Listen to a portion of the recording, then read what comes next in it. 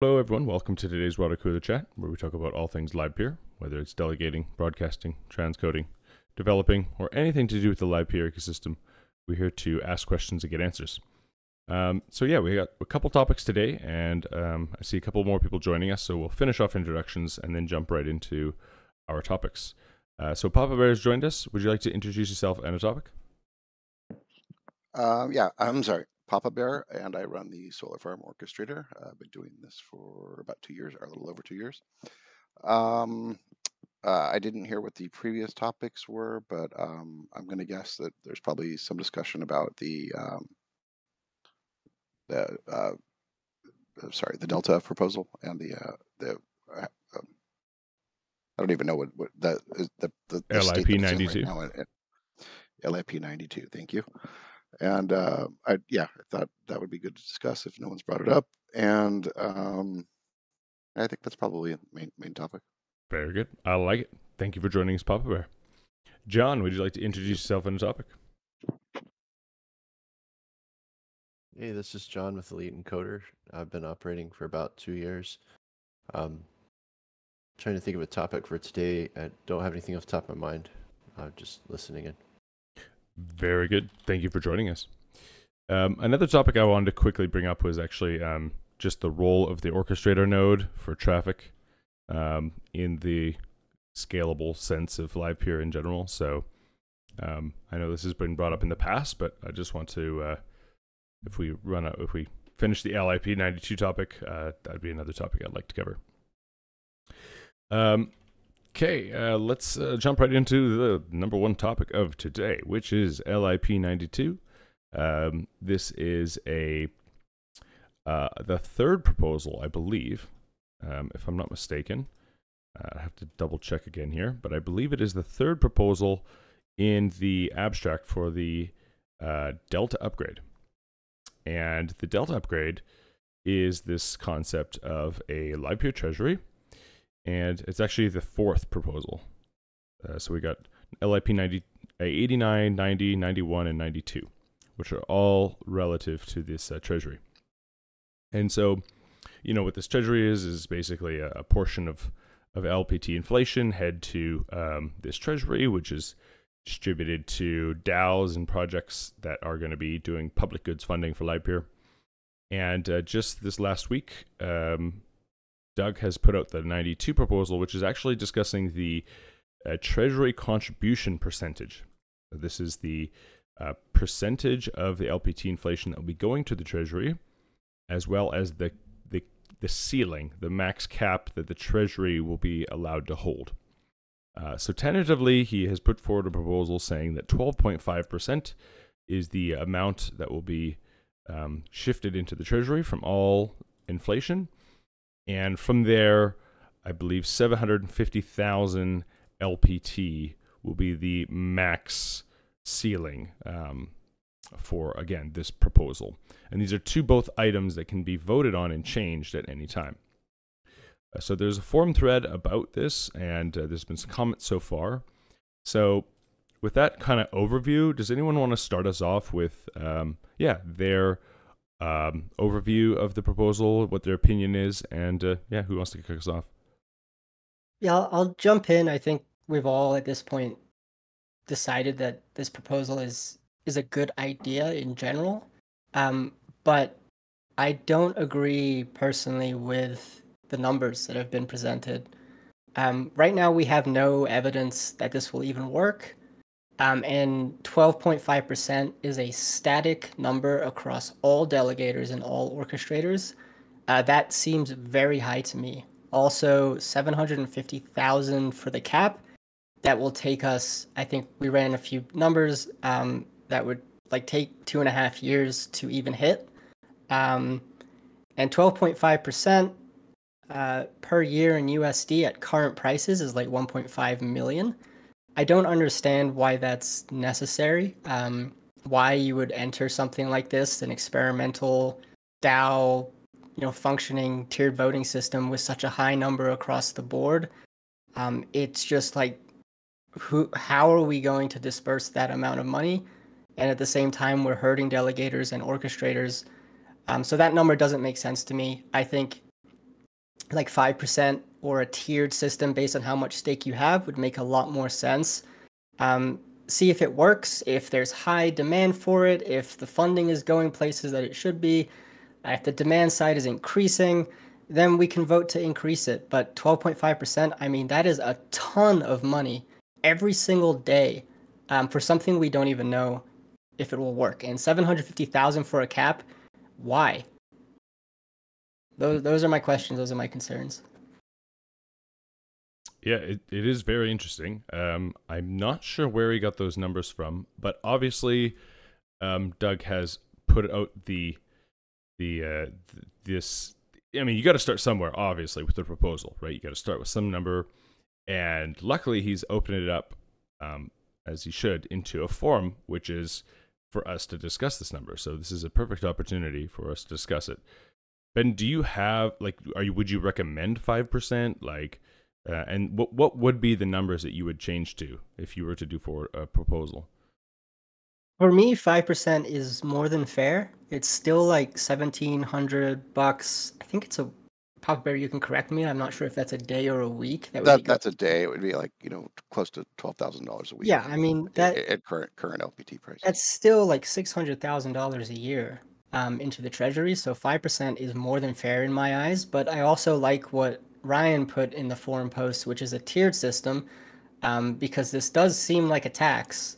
And you know, uh, Doug did compare it to nation states, and if you want to compare it to the U.S. or a lot of first world countries, the taxing is is tiered based, right? If if you have a crap ton of LPT, maybe you should be taxed a little more. So maybe it starts at 0%, goes up to 2%, then 5%, then 10%, then 12.5, and maybe 15 to even 20, um, depending on how much stake you have. Uh, but going in directly with 12.5 across the board, I mean that that's that's going to be a big treasury, and it's I don't know I don't know where that money's going to go. So um, I'll give you a little pushback because I'd be kind of curious to see um, where this goes. But I mean, right now, 100% is going to supply side and 0% is going to demand side. So, does it make sense that 95% still goes to the supply side and 5% goes to the demand side when we have insane amount of supply already? Yes, absolutely. Uh, because we need proof of concept, and you don't go into proving something to be true with such a high number. Um, because we know for a fact that 12.5% will be taken from us, but we don't know for a fact that the demand side will increase. So we are looking at pain for orchestrators and delegators regardless. We are willing, I am willing to give up more than 12.5 if the concept is proven. But regardless of 95% going here, 5% going there, 5% is more than enough to create a very healthy and abundant treasury uh, that will I, I just don't see it like something being funded every day.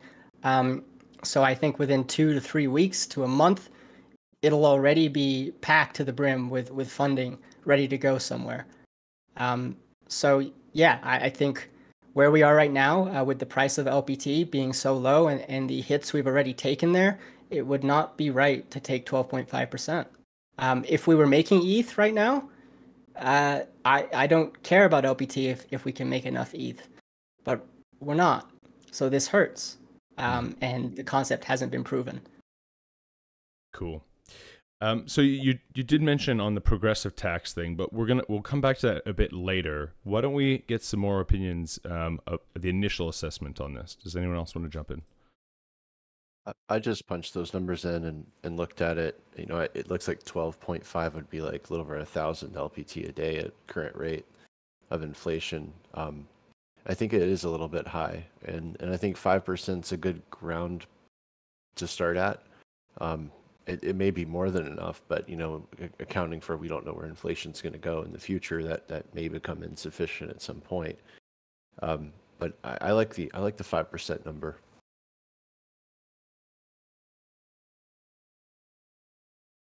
Yeah, and also just to answer your question, um, uh, Titan, that you asked about uh, where Doug got the 12.5 percent. Um, it's in the proposal. Um, he, um, see, where did that line go?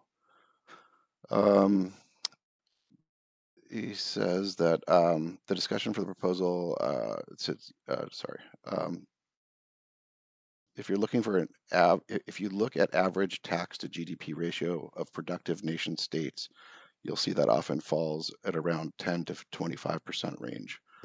Um, so he picked uh, 12.5 to be on the low side of that 10 to 25 percent range of um, tax rates of productive um, nation states. So just to to answer that question of where the where, where he got the 12.5 or how he came to that number. Oh, in- if you th- interesting. Uh, that is, yeah, it's interesting. If you think about it, um, I I think you know most a lot of orchestrators are around ten percent, maybe a little higher, a little lower on their cuts, right?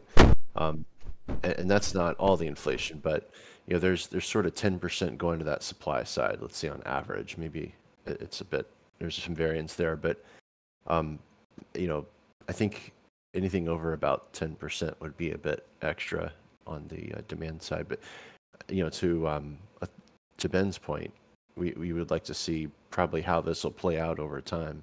You know, if we can fill up the treasury in a few months and then fund a few projects and see how that that spend goes, it would be interesting. Um, uh, there's also the the economic impact of having a, a lot of LPT locked up in a treasury too. So I mean, we, we could always think about that as a positive in a way. But uh, just a few thoughts. Yeah, actually, that, that's a really good point. Um, that uh, I, I think um, that John brought up. Uh, that, that that kind of counters that you know that um, 95% or uh, I don't, is that what you said? Titan is going to uh, the supply side because really most of that is actually going to the delegators.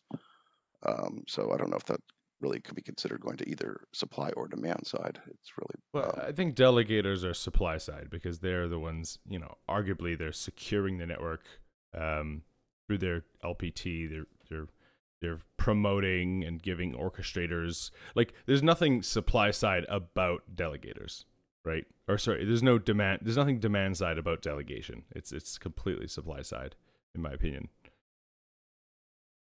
So I, you know, just to play devil's advocate, I just want to jump in here, and obviously this is going to be an unpopular opinion. Not that it's my opinion at all. I just kind of just playing around with some words here.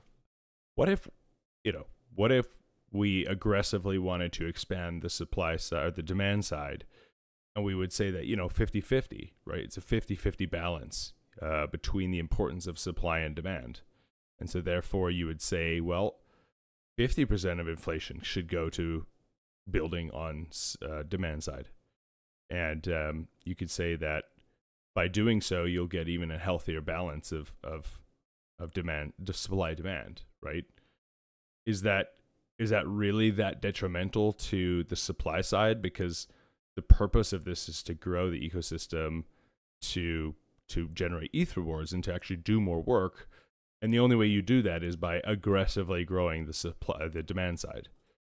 So again, I'm not gonna I'm not gonna I- speak for everyone, but I think that uh, uh, at least my feeling is, and I, and I think a few other orchestrators that if this starts out and it works, and there's s- if we see um, uh, you know demand increasing, I think uh, I'll say most orchestrators probably fine uh, increasing the the reward. Uh, let's see, the, it's tec- technically called the treasury reward cut rate. Um, but um, until we see some sort of results, it's um, I mean, there's it's been several years where I mean there has been you know money that has been available for the uh, supply side, and um, currently, I mean, we just haven't been seeing much growth there. Um, so, uh, you know, I, I think we just would like to see some results before we, could, you know, are willing to. results Agree to. and and like 50% how much is that a year like f- forget the balance and you know all that stuff why would you need like a hundred million dollars sitting in a treasury until it's 100% proven that there are serious builders who want to build like killer applications like what do we need need that much money in a treasury for what's the point aside from just taking it from the supply side and putting it there to have it i, I don't understand the uh, just the meaning behind having that much money in a treasury. Yeah, I, I guess. Well, the point of the treasury is to is to support public good funding for the ecosystem, right? Right, but we can do that with you know, seventeen hundred bucks a day, easy. Again, it's still six hundred thousand dollars a year, yeah, at current prices. Um, that seems like a lot to me. Sure, yeah, but I mean, there's also, you know, Coinbase is getting most of the hundred percent of the rewards right now, anyway, and you know they don't do much to, su- to support the the the demand side at all, right? So really, you're you're you're probably moving those. again, these are just at devil's advocate questions. I'm just just speaking out loud. Um, you know, you arguably are taking it away from the people that are doing the least, and hopefully giving it to new people that can do the most, right?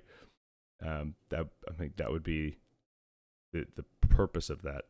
But but I do agree. I will caveat that I believe that the amount like 50-50 is just an out there number i just i just wanted to to, to raise some eyebrows um but like you know this this this idea that it's an adjustable metric that is on uh, voted on chain i believe is probably the best the best feature of this entire proposal. Because you know we can easily start with 5% 1% i mean we could start at 1% and review this in 3 months and go to 5% and uh, you know decrease it if we see no value right? So there is a nice um, on-chain metric here that can be voted on. So i think that's that's see, a positive the problem with that though is like if we're talking about the current on-chain voting mechanism it is significantly weighed towards a small group of individuals that have all the elector delegated right yeah i mean if this goes to a vote um, it takes one person to vote yes or no for like none of our votes to matter. Um, I know it's a chicken and egg problem because what we're proposing here is supposed to address that, but to do to get to that point, we have to vote with the current system. Uh, so we don't actually have a say um, necessarily, even if all of us in this channel pooled together, um, one person can swing that vote whichever direction they see fit. So that part is is really hard to to justify um, but again like i i am not against giving like 20 25% you know 30% of my lpt rewards. If the concept is proven demand increases and we're all making the eth like we're supposed to be instead of counting on lpt um, but it hasn't been proven yet. That's just my opinion my two cents. Hmm. that's all. So what I'm also hearing is so I just wrote down some things like, you know, it's adjustable, start small, you know, baby steps. How do you eat an elephant? You know, one bite at a time, right? Maybe start maybe 12% is a little too rich to uh, to get somebody to, to jump into the pool. Maybe it's like a, 5% and and we, you know, test the concept if we can see that it's generating demand, then we can review it. And guess what? If it's a big flop, you could say, well, you know, good thing we only started with 5% because we going to probably shut this thing down, right? Yeah. And, and Doug actually just put a really good point in the forum post. Um, he said, regarding the different treasury reward cut rates for O's with different amount of stakes, do you think this will encourage O's to split their stake and spin up additional O nodes, taking available O uh, slots from lower staked O's in the process? Basically, it would encourage a lot of people to game the system uh, so they get a lower cut taken, uh, which is a good point. Um, if you're doing a tiered system for for the tax, what's stopping someone from just gaming that? Hmm. Yeah. yeah, I mean, except, uh, um, I mean that is definitely something that uh, I think would happen with um, uh, orchestrators that are mostly self-delegated. Um, I think the bulk of the orchestrators are don't fit, fall into that category. So um, it's not as easy to just you know start up another orchestrator and then get have you know your delegators move over because um, we don't most of us don't have much contact with who's delegating with us. Um, so I, I, do think that is definitely something to consider.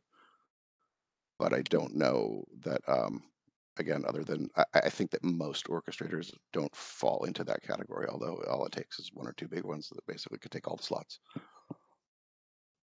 Can anybody speak more to the process for distributing funds because like ben and a few people are saying it's a lot of money to lock up. How can we feel comfortable that it's actually going to get dispersed in an equitable way that you know helps the network but also doesn't you know disadvantage any single party? Yeah, so I believe, well, it, it gets dispersed through on-chain voting, right? And the idea is that tier 2 treasuries or tier 2 DAOs will come and apply for the funding and they will kind of hand out all the micro grants or how how like like for instance the uh, the Livepeer Innovators DAO that's spinning up. Um, you know, that will apply to the tier 1 treasury for say a hundred thousand of its LPT that's locked up, um, and we can prove that we're gonna, you know, give it away equit- equitably and like uh, that that pr- provides demand, and so therefore, you know, the the the community, the the token holders will vote to give us that out of the treasury, and then, um, you know, if we come back for a second round of uh, funding, then you know we have some history. And if it's you know a big flop they are not going to give the dao money again. And if it works really well maybe they'll increase it right? So it, it's kind of a tiered system so if me as an individual orchestrator d- delegator translator transcoder or not let's say i want to spend time and effort to try and build a platform right to drive demand Mhm. do i have the ability to submit a proposal? And who votes? How does the vote get counted right? Because same thing with like uh you know if it's based on lpt that weighs the voting. You see you see what i'm saying well you would probably if you were if you're just an individual developer you would probably apply to the the, the tier 2 dao like the innovators dao which is like a more off-chain dao where we have you know a structure for how you apply for funding. We do rounds. We have a small committee of people who can act quickly and, and vote to hand out the funds, right? Um, but that being said, I don't. I believe anybody is allowed to submit an LIP or a proposal or anything to uh, on chain, right? Um, but you know, so but it, it's it's a big process, right? is there a so talking about the difference between L1 L2 is there a set um distribution of this you know let's say 750k 12% whatever between those two are they separate DAOs or how does that work So the tier one treasury is a fully on-chain treasury that's built right into the protocol, and Mhm. it can only do transfers based on uh, voting, like on-chain voting of LIP or of of, of LPT, um, which makes it very rigid. And we're probably only gonna distribute funds, you know, once or twice a year, and it's gonna be like a good portion of the treasury funds once or twice a year, right? Something like this.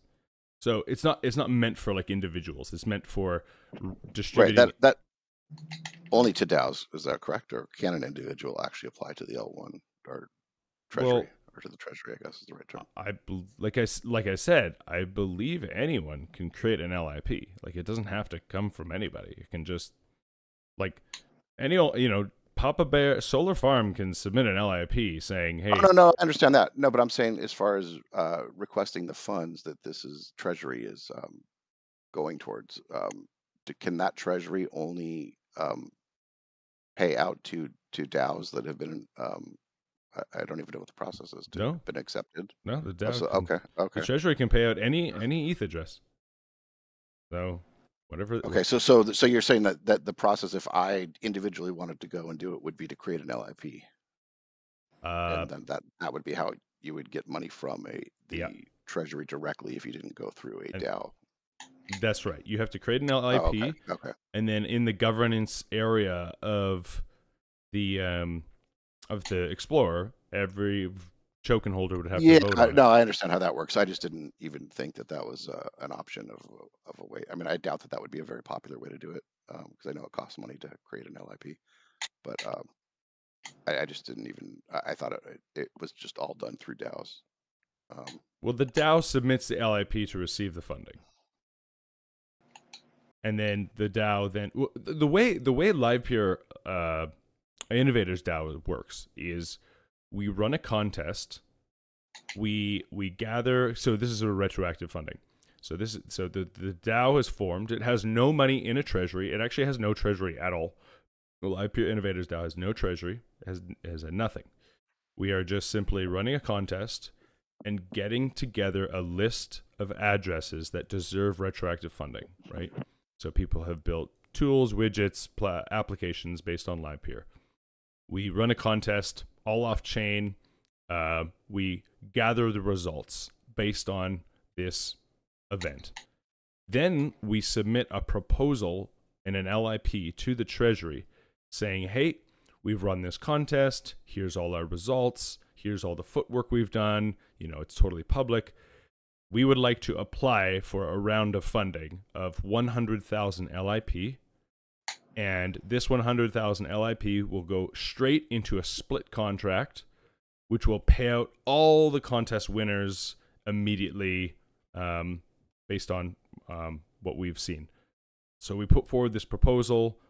Um, the community, the LIP hold token holders see, hey, there was a lot of work done into this, and everyone that's getting a proportion of this round are getting their are getting are appropriately getting allocated this based on the DAO, and um, once it goes through, then that hundred thousand would get dispersed directly to essentially all the participants of the of the contest, right?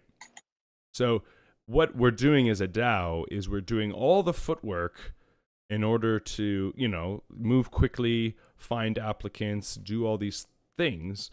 But the on chain transaction to the L1 treasury is like once a quarter, you know, every half a year or even just once a year, right? Because that that requires a, a giant vote for every LIP holder, which is like, you know, that's just tough to organize. Yeah, I, I, didn't realize that's how it worked. So thanks for the explanation. Yeah. So the idea is, um, oh, and then the the way it works also is the DAO, uh, and I haven't finished the light paper for this, so this is obviously going to be explained in the light paper. I've been quite busy doing other things, but um, the idea is of the uh, 100,000 LPT that gets distributed to the contest winners, uh, 10% of that is going to get redirected to DAO members who put in time to get this thing going, right? And so again, the L1 treasury, all it knows is it's sending one transaction to one smart contract, and that smart contract is going to divvy up all the funds that we have set forth in the proposal. So 10% will go back to DAO members for their efforts, 90% will get distributed amongst all the winners of the contest, and we run a round every, you know, six months, something like this. Um, so yeah, so the idea behind the uh, the LivePeer Innovators DAO is that we're going to be the first DAO, hopefully, to submit a proposal to the LivePeer Treasury. So you know, and for those here that are in the LivePeer Innovators DAO or have applied, you know, we're kind of making this up as we go, right? These are kind of just theories and ideas at this point. Like they haven't, there's no formal uh, you know, there's no formal um, thing yet. This is just, you know, still in the preliminary pay, uh, phase. But anyway, that's that's the relationship between uh, treasure, uh, like a, at least the LivePeer Innovators DAO. That that's the relationship to the tier one treasury. Is that the tier the tier two DAO has no treasury. Like it doesn't actually have any funds uh, set aside. It, it doesn't actually custody anything um, in the meantime. Once it gets paid out, then that DAO's own governance will manage uh, funding of its various projects, right? Well, say it again. To understand that correctly, that uh, uh, just to recap what you're seeing on the on the on the level two, uh, once a DAO gets funded, um, they their their own governance within that DAO would would manage distribution of funds for various projects? Well, no, because that will have already been done beforehand, and the split contract will actually send all the funds to the end recipients immediately. So th- there won't be any funds for the DAO to have a treasury. Okay. Okay, so it when when you build the split contract, you say, hey, there's there's ten winners, um, there's tw- twenty winners of of this contest. You know, first one deserves you know five percent, uh, ten percent, twenty percent, whatever. You, you we built we we we have that formula uh, already built based on the results. And anytime you send, and the way a split contract works is the amount, the minute you send any asset to it, um, it gets redirected to other addresses based on the, the contract, what you put into it, right? So, So, that's all proposed at the original proposal going to the L1. yeah, so the, the original proposal has the results of the contest built into the con- into the in, split contract, and So and it's, a more of a retroactive thing than a you know let's fund a working group for six months and see what they build kind of thing. It's it's more of a um, a retroactive That's what- approval with LIP. that's what the Livepeer Innovators DAO is. Is a retroactive funding uh, uh, system. So I- Is there the design Um, support other systems that would be more like that, where you know a working group is funded for six months or something? Yeah, I believe the Livepeer community node, like the grants node, is gonna come up with their own system for doing that. Because they they are gonna be another. They're gonna be so there's the retroactive grants and there's like the the future grants, and those both work very differently. And so future grants are like what the community the the grants node is currently doing, which is they have a treasury of stake and as applicants come in, they release those funds, right? So they would apply to the tier one treasury to fill up their treasury and then Mhm. slowly distribute it over time. That that makes a lot of sense. I think that's what a lot of us had in mind. Um, but it, it, it makes sense there that retroactive funding since we haven't had anything like this and we've needed it for a while. So Yeah, the Um, retro. I- oh, actually, that, that brings up something with the retroactive that, um, so basically the retroactive uh, DAO would be running contests, not even knowing for sure that they have the funds approved, right? Because they're not applying for the funds until afterwards. So they could be running contests that they can't pay out if they're not voted, uh, if they don't get voted yes. for. Yeah, that's why when we do these contests, we should we should be making sure that we can drive confidence to the LPT holders that this is in fact worth funding, right? Because otherwise, it's like, you know, Titan Node and Papa Bear make a DAO. Because you gotta realize the Livepeer Innovators DAO is just a, a concept. I mean, Papa Bear and Titan Node can get together and make like you know the Livepeer cool guys DAO, and you know the, the Livepeer cool guys DAO just it's a contest for how cool like cool the glasses you wear, and so you know this guy won, and so hey we'll we'll we'll, we'll propose that to the L1 treasury, and the and the token holders go that's a stupid contest, and we don't like who won.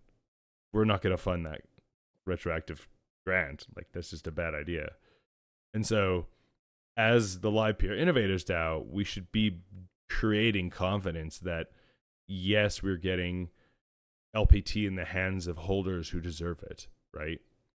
And so, yeah, like it's it's retroactive. Um, we don't get funds prior to us running the contest. Yeah, it just seems to me that um, that could just be misleading to run a what, what, uh, maybe contest is just throwing me off to call it a contest, but um, it almost seems like we should just be choosing out of projects that have already just been put out, and I say we, but the, the DAO should be putting out pro, uh, choosing out of projects that have already been finished and submitting those, saying I think this is a good project. This thing is actually doing what it's supposed to do, or this is benefiting the Livepeer but to call it a contest that you know hey you know what we're, you can win uh, uh, you know if uh, a hun- a 10,000 LPT if you know you're select if, if Mm. you win but then not be able to deliver on that that, Oh, that I think- leave a bad taste in people's mouth I think you bring up a good point. The word contest is the wrong word. Um, okay it, it's a round, I guess, is what you would call it. And so anyone can apply for the round of funding. And if you meet Okay. certain criteria, you're just going to get awarded it, right? Yeah, I would I would say that criteria would have to be pretty strict because we're in an industry and space where people get funded a lot of money and don't do anything. But again, this is it's after they've retroactive. done it. This- This is after it's already been finished. The, the, the- Okay, the- the okay. one- Sorry. Yeah, retro, retro. Okay, so it's not a contest because you're not actually competing.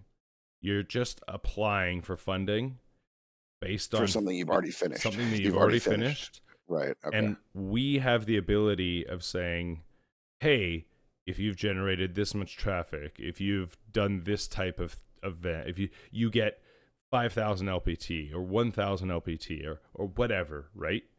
And so as we do a round and people apply, and we can apply, you know, maybe it's as simple as like because maybe someone built something really cool but don't this is why the DAO is in charge of reaching out to these people saying, "Hey, we would like to pay you. You'd like we'd like to fund you for the work you've done here. Make sure you, uh, you know, apply for the the funding for this this round, right?" And so we got to guide them through that process. And once or even if they have a public wallet, we can say, "Hey, we we know you have um you know, uh, a, a Gnosis Gnosis safe, you know, you're a DAO, we'll we'll just apply for you and we'll, you know, or something, you know, and we'll we'll send you the funds." So but the idea is as a DAO, we're we're going to run this program to run a round. We're going to get all the round results, right? And then from there, we can submit an LIP to fund a, a split contract that will fund everyone according to the results that we'd like, you know. And then, uh, and included with that is 10% go to DAO members for their contribution. So DAO members can get uh, compensated for the time and effort they put into running this DAO. And there's also no treasury funds that the DAO has to manage, uh, which can be, um, you know, can be very difficult to get funding if you're like, like, like it's very easy to to to build confidence in an L1 treasury vote if you know that the funds aren't just going to go to a, a tier tier two DAO that's just going to get hacked or hijacked. Um, when you know it's going to a straight split contract and everyone who gets funded is that says they're going to get funded is going to get funded um, through a contract, then again that builds a lot of confidence.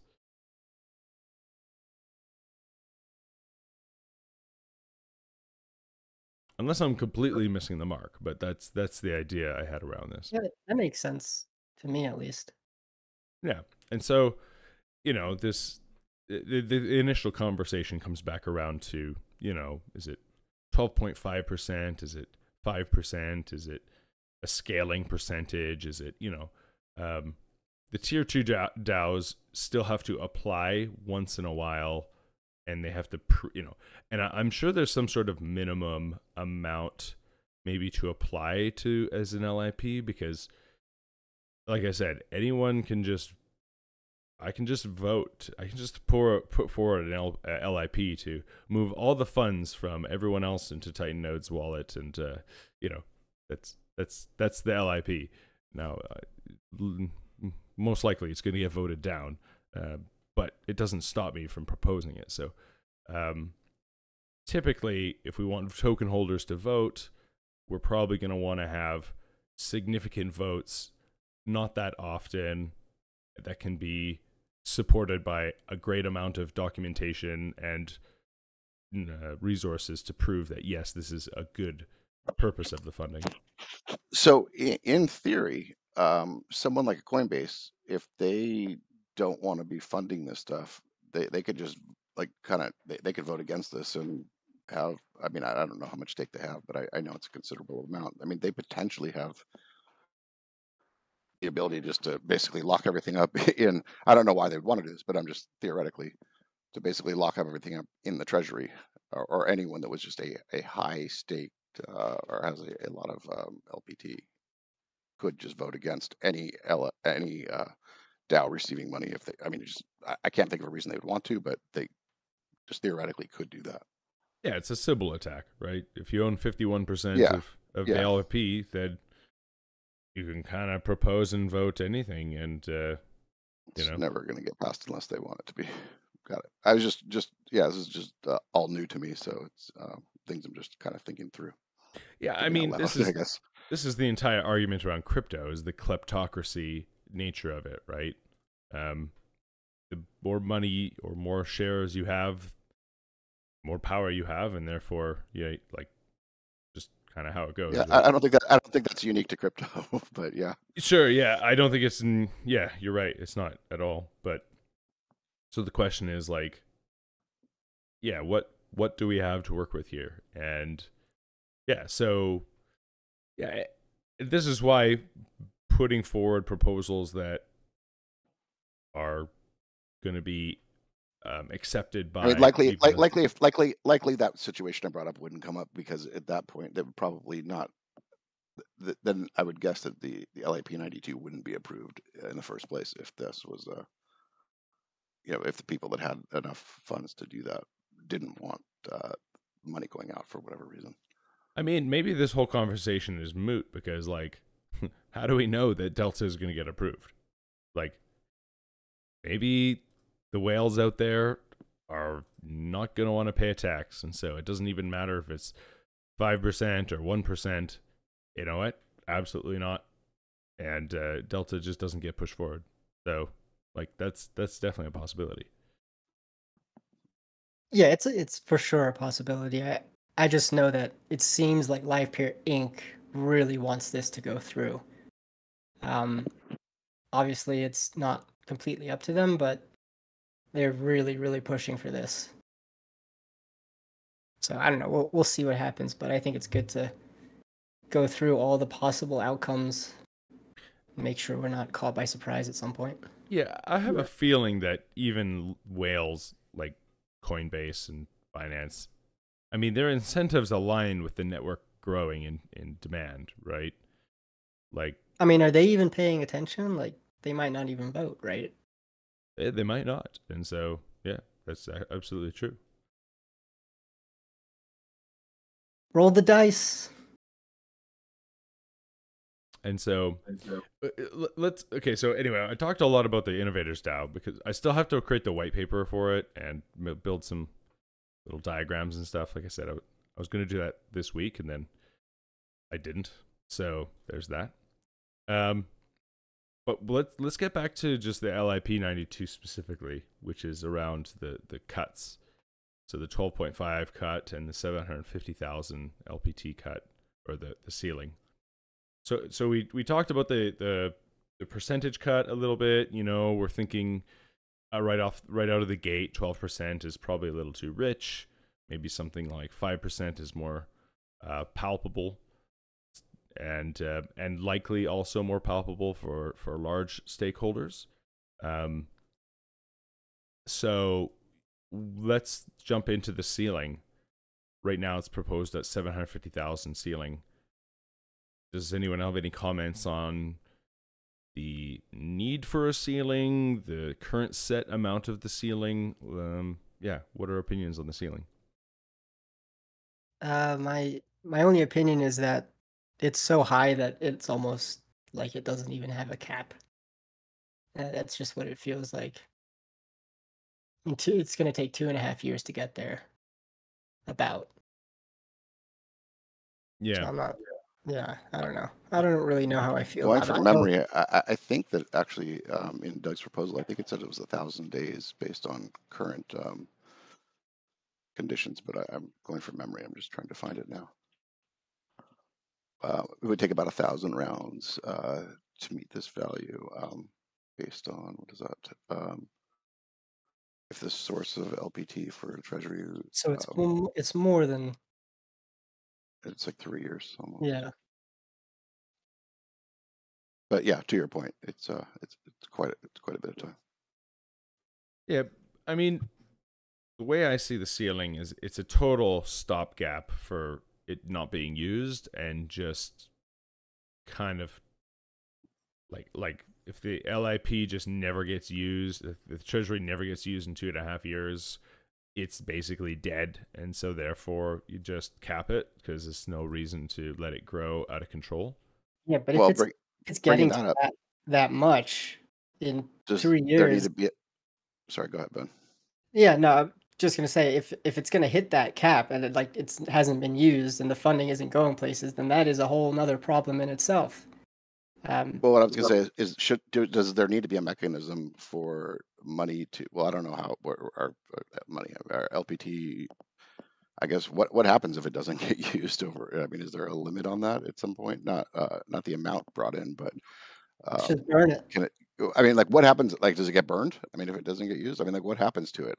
Um, like, if it's there ten years later, Pretty sure it just stays there. so, See that Uh, that's a huge flaw in my book. Why would we be giving up a percentage of our rewards if it's just gonna sit in a pile somewhere? I mean, ideally it doesn't. I think it's just a stop, like a like a fail safe. Just like like you don't expect fail safes to to happen, but you put them in place so that it doesn't get out of control. I mean, three years of funding not going anywhere or not enough funding going anywhere is is out of control in my opinion. Regardless of if there's a cap or no cap. Um, if that funding isn't going anywhere and we're paying for it, I mean, just what's the point? I mean, might as well just burn all that LPT. We've already sacrificed it. It's gonna sit there. Might as well increase the value of the LPT we have. Well, this, I mean, arguably there's no difference than LPT going into a treasury that just gets locked there indefinitely and burning it. It's the same economic effect. Well, the supply doesn't change if it's just sitting there. The supply changes if we burn it, and that looks better for LPT because there's less in circulation. I mean, technically, it's not in circulation, right? But it still exists. It's still on chain. try, try and explain, you know, how hard it would be to explain, though, it's just it basically sitting in a, in a, uh, in a treasury that's not being u- that won't be used versus it was burned. I think, I think that the uh, optics of that are just, I mean, it, it's pretty complicated to explain Livepeer's economics to a lot of people anyway. So, um, I, I think people understand a burn, you know, mechanism versus it's, it, it was voted to go into a treasury and didn't get spent. And again, these are all like, you know, worst case scenarios, but, um, it does seem like there should be some kind of plan if it doesn't, if it isn't used on what happens to it. Well, Um, maybe no, it- w- would just lowering the ceiling be better? Just say, hey, listen. Well, that was the other thing, and then also, is there, should there be a lower ceiling, especially to start? Um, or I guess just in general, or does the ceiling even need to be? I mean, should the ceiling be a percentage versus a fixed number? Percentage of LPT Hmm, outstanding? that's interesting. Yeah, like why is it a fixed number? Why wouldn't it be just you know three percent of all LPT and inflation or in circulation can be in the treasury at, at any given time? That's the max. Once it hits that, you know, it stops. Which again, three percent is actually like a lot more than seven hundred fifty thousand. But Well, yeah. two and a half is, it, two and a half is what seven fifty was, is based on, so, um, it's not, probably not, all- I mean, it is more, but, uh, not a lot more, I was thinking more like one percent then. Um, but yes, uh, but then, but then again, it's not a fixed number then either, so that's an ever increasing number, no matter what you choose, if you go with a percent, so, um, Yeah, I'm more in favor of a fixed number, but we would want to dial that in based off the um, whatever the inflation perc- the percentages that we're cutting for the treasury. So, like a five percent would take a lot longer to fill up than twelve point five. You know, to get to seven fifty. right, so what, so what, what, what were you, what are you saying, John? I mean, I understand that. Uh, I don't know. Let's say if we do five percent. Yeah, maybe if we do a five percent, we aim for more of like a 250, 250,000 cap, for example. Whereas maybe with the twelve point five, it seven hundred fifty thousand does sound about right. Um, it still would take like two years to fill it up, but I think that's that's long range vision, and we can always adjust that. I think Um, a two year range for filling up a, a treasury is fine because like LIPs don't happen very often, and to get people to vote and coordinate within two years to drain the treasury, like this, this pretty tough in itself. Like, At six month intervals, that's like four rounds. sure, but uh, yeah, yeah. I mean, even just two LIPs a year, like that doesn't happen very much, and it's Mhm. pretty uh unless unless you know this treasury is the thing that makes LIPs or or governance gonna say, I- like maybe it I just would think they'd enables governance more frequent. Yeah, like I think it would become. when was the last time we Uh, created a, a poll? You know, uh, and and you know did a governance thing was uh, October first, twenty twenty two, for the round length parameter, uh, which got a ninety nine point nine eight one eight percent yes vote. With And what was the participation on that? 96 votes. 96 votes, but yeah, we don't know the participation, like how uh, how much LPT actually was behind that, or is that somewhere? Uh, total participation was 38% of all LPT. Okay, so 38 percent. and and 33.33% is needed for quorum uh, to, to for for a vote to pass. So, you know, the last vote we had 96 people vote. They all voted yes and we just passed the, the threshold of the del- the particip- the uh, LPT in order to uh to make it go forward. Lengthen the rounds. um, most you know uh, m- most people were non-voters right like the, the problem with the funding for l1 is like like the the delta proposal i think it'll get the participation needed the 30 you know the, the 33% needed to for for something to happen um but like voting like a like a DAO voting to release funds out of like I just it's going to be to get that quorum of 33% like that's hard. Um that's that you know if you're if you're doing votes every 6 months I, I just don't know how much unless it may be it just makes people more aware of voting and so they do it more often.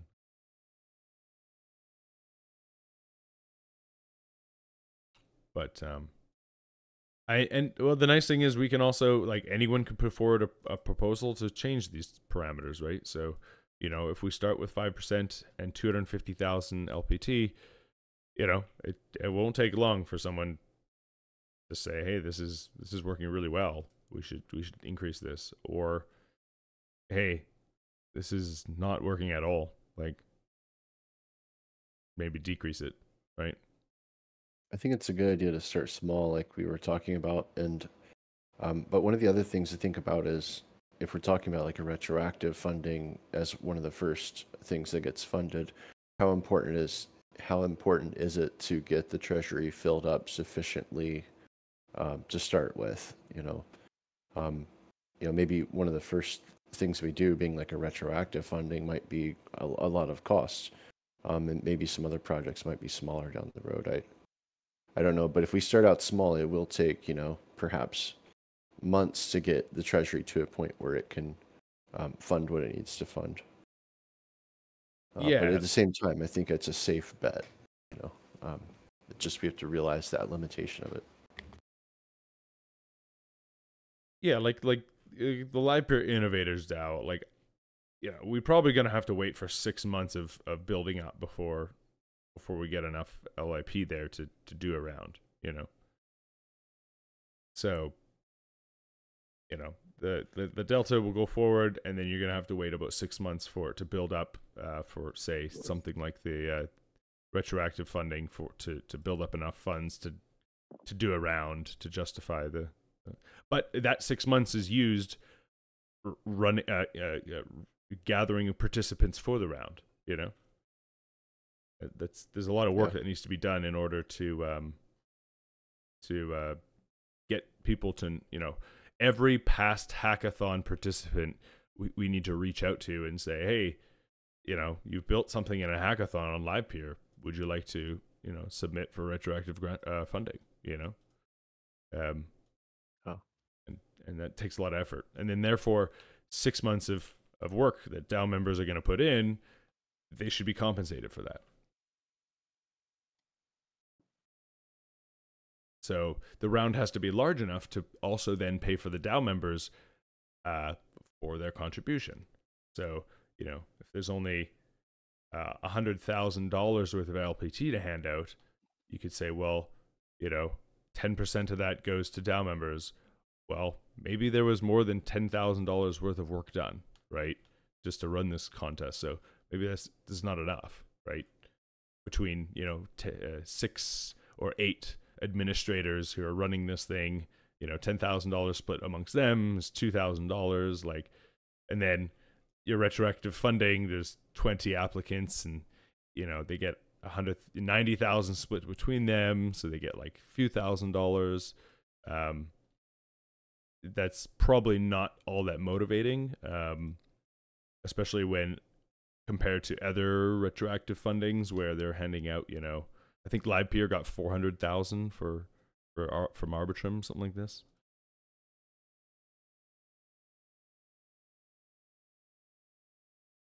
So Yeah, that that first one might be a good benchmark to the cadence and the cut of what we need to need to figure out. But I'm I'm not the accountant type, so a lot of numbers there. Do we know of any other DAOs that are being um, proposed for you know to uh, access the treasury? there's currently none that I'm aware of. Okay. other than the Livepeer grants node, which they will probably just once uh, once Delta goes forward, they'll probably just convert and you know create a, a DAO. They basically are a DAO already. Like they run a multi-sig.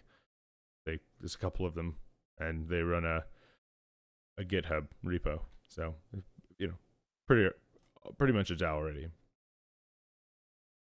Yeah, I was just curious, just trying to get an idea of like um, you know um, how much LPT would be um, around at you know at, even five percent in in six months. Um, it looks like that'd be about uh, doing this in my head. I think around sixty thousand LPT, something like that. In six months. Um, actually, I think more than that, like seventy-two thousand. I'm kind of, I don't know. Maybe, maybe John, maybe you're better at math and you could figure that out. Uh, I was basing that off of uh, eighty-five hundred um, LPT being minted a day and taking five percent of that. Doing some rounding off in my head. Yeah, that's all right. So how much? Eighty five hundred a day. I think eighty-five hundred are minted a day based on the Okay, So four hundred and twenty five LPT a day Mhm. times thirty days times um, uh, six months. Say Six, so seventy six thousand seventy-six thousand. five so, five hundred LPT times current four dollars. It's three hundred thousand dollars in six months, U.S. Uh, you know, and say the the innovators DAO took all of that, right? I think that would be a nice round to start with. But that's not giving Yeah. any opportunity to any other DAOs that would be applying for this funding. yeah, no, no. I was just just thinking theoretically, just uh, how much would be in the treasury, and then uh, you know, um, not knowing what other DAOs would be out there need, need or in applying for a cut of that. Um, it's hard to really say what what, what would be a, a good amount to, or what would be a, a reasonable amount to you know that we would need um, to make this successful. I know beforehand with the grants program, Livepeer was running. It was about uh, two hundred fifty thousand every quarter, right? I know, I know, we never really got to that, but um, that might be something to think about in terms of what the current demand might be for the treasury. Um, and then that was just a quarter, so you'd be looking at closer to five hundred thousand um, every six months. Um, this this comes pretty close to it. So maybe perhaps a little more. I, I don't know. Um, and part of, part of, of the uh, um, what, what's in the current um, grants program, um, I think I remember Doug saying, I think that that would be moved over to um, Hmm. into this, or does that sound familiar to anyone? Titan, maybe? No, Uh, I don't know. I don't know what's in there. I mean, I don't know what the, what what they have, what the, what their Uh, treasury looks I like. don't know what they have. I have no idea what. I don't know how it works. Um, but what it would do is it would actually open up an opportunity for for competitors of the the node the grants node to come in and say, hey, listen, like I can maybe run this better, um, and maybe the token holders of of Livepeer look and say, hey, look, here's a proposal for a secondary grants DAO that has a a better system and maybe some better feedback time for applicants of a of an of these things and so you know what we'd rather fund this this new DAO rather than the old grants node, you know? And so it brings in a bit of competition too to say, hey, where do we want to put these funds? How much do we care about retroactive versus future grants? And what type of teams do we like that we think are doing a good job, right? Yeah, I, I guess in my mind, for some reason, I thought that this was going to replace the current grant system, um, but I, I guess um, it, it runs just concurrent to that. But the Livepeer Innovators DAO? Uh, no, the, the this uh, d- Delta proposal with the Treasury that this Treasury would run, um, handing out money for grants, basically uh, concurrent to uh, what's existing for Livepeer. No, I- they're the ones. No, no, no. What's going to happen is that the gra- the community node is actually just going to um to dissolve, and then they'll just get all their funding from the treasury, and so it it's actually just a continuation of the current uh, Livepeer grants node.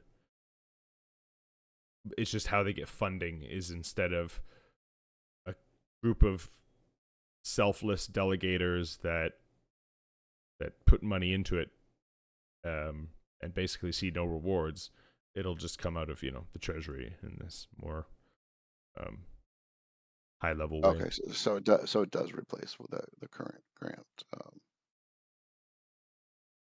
system. Yeah, it, it it replaces how they get funding. Right. Okay. It re- it, it replaces that. the node because the grants node, I don't like they they or they get LPT inflation, but I don't know if like what do they do for transcoding? Like I don't think they're actually I don't think it transcodes. I think it's it's literally just getting funding Getting and- inflationary. Yeah, it's just getting inflationary and just like spending it on things.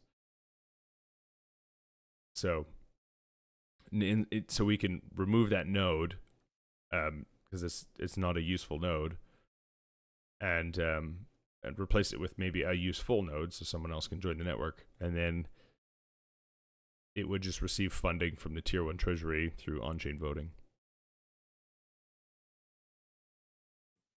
Got it. So yeah, um, that is how that works. Um, all right, so based on all that conversation, like like the grants node spends what John said something around two hundred fifty thousand a quarter. Um, that that itself is more than five percent of the uh, LPT inflation. Uh, so And I, I just remember that just like a tweet I saw last last year around April or so. There's no Um, way they're spending two hundred fifty I, I, think that may have been there. There was a quarter where they did that, but I don't. I, I again, I could be wrong, but I don't think it's currently at that level. Like, I mean, we can look it up. That was Look at the probably before they changed the whole way the way the grant system works. Mm. And even that, I mean, that just sounds crazy to me. They spent two hundred fifty on what grants? I'm just Yeah, they're- here. Um, They were saying like it was up for grabs or whatever. You know, that wasn't actually their actual costs, but Oh yeah, yeah. They were saying they had two hundred and fifty available to spend. yeah. oh, yeah, I I'm- remember that. I'm looking here. Actually, it's right on their uh, their tracker. Um, they're spending about uh, 95, 75 a quarter. Here, it's literally on their tracker. Here, I'll put it in the link. The po- Looking at it now. uh, so they have they have amount dispensed versus amount committed. So like we'll go with amount dispersed because that's like actuals. So like Q1 of 2022 they did 77,000. Q2 of 2022 they did 44,000.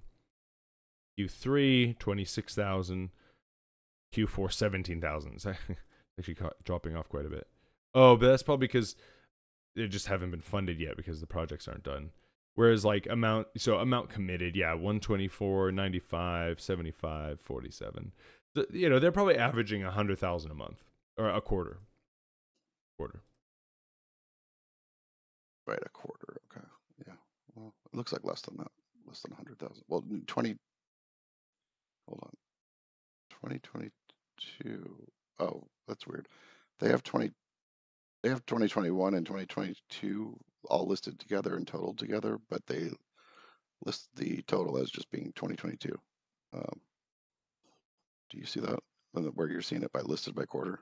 G hu- seventy hu- four to G seventy one. No, that's actually just twenty twenty two, because the the formula is for uh twenty twenty two. Oh, just the bottom part. Yeah, if you look at the formula, it's the Oh. sum of uh, rows G seventy one to Oh, G seventy four, okay. which is uh, which is actually twenty twenty two. So that that is correct. All right. Yeah. Okay. Yeah. Yeah. So when I look so at it now, so it in the entire year, a calendar year of 2022, they they just they committed 130 100 uh, sorry 343,000 US and they dispersed 166,000. So if we're bringing in say 300 600 a year through the treasury at 5%, then that covers the grants node times 2. So, you know, you add it you add the retroactive grant funding in there and we get, you know, 150,000 per quar per half year, 75,000 you know per quarter basically for for like a the innovators DAO based on current stuff. Right. So you'd want to yeah. Yeah, I mean if those are the only two DAOs applying for funding, then like I think 5% would be uh conservative.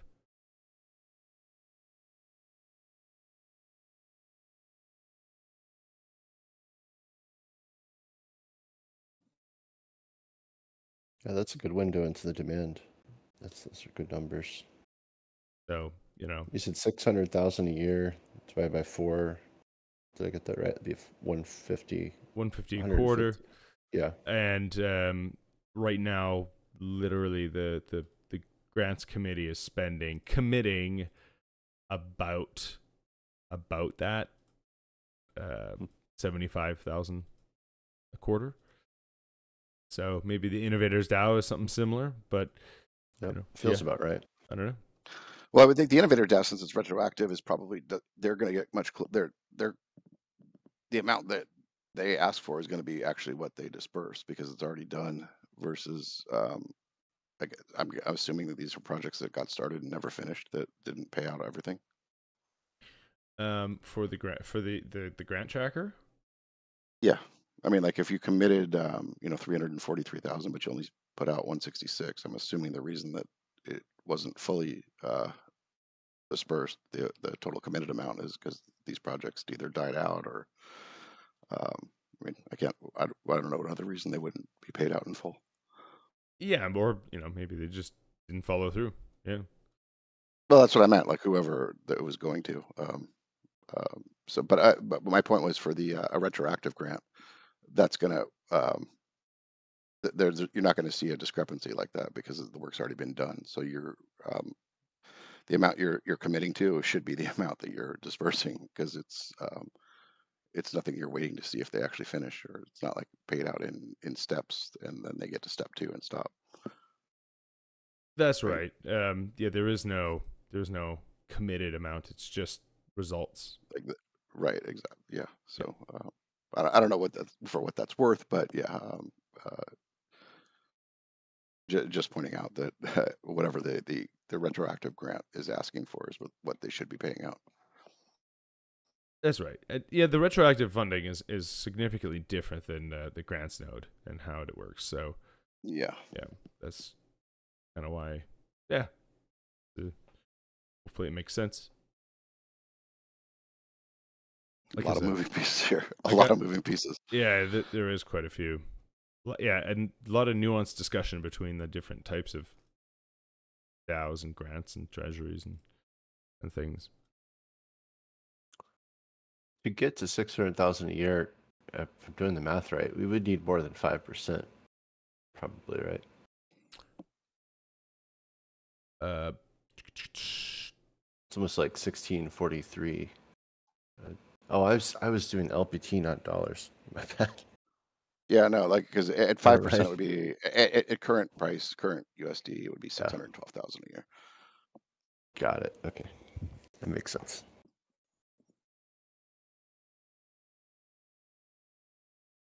well, based on that, I mean, if if we went with five percent, it'd probably be good to follow it up with some data on why five percent instead of just um, Yeah, just Five. randomly throwing that out, and I think using this, you know, cur- uh, current grants um, amounts that have been spent, um, give at least some basis for that. That it's still quite a bit more than has been allocated in the past, and um, and it looks like specifically quarter one of 2022 really was quite a bit higher than any other quarter in the last two years. So seems like a fairly decent, uh, you know, pretty good amount of money to to be uh, putting out towards uh, public goods and uh, whatever term you want to use. But um,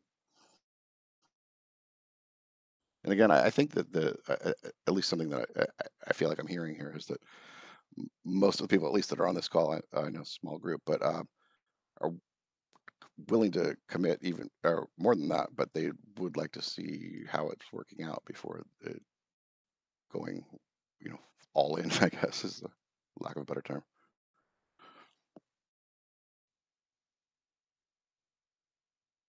Well, there we go. Um, great. Do we have any more? So, okay, I'm gonna we're gonna jump around to this whole um, this other concept of uh, uh, what do they call it? Adjustable tax rate, basically. Um, so, I my personal opinion is adjustable tax rates are are um, I, I don't like them. I think they're actually kind of dumb, uh, even for governments to use. I think it's kind of weird. Um, I think flat rate taxes actually makes more sense uh, in general in a society, but that's just my opinion. Um, so let's talk about that a little bit. What? So that's that's my opinion.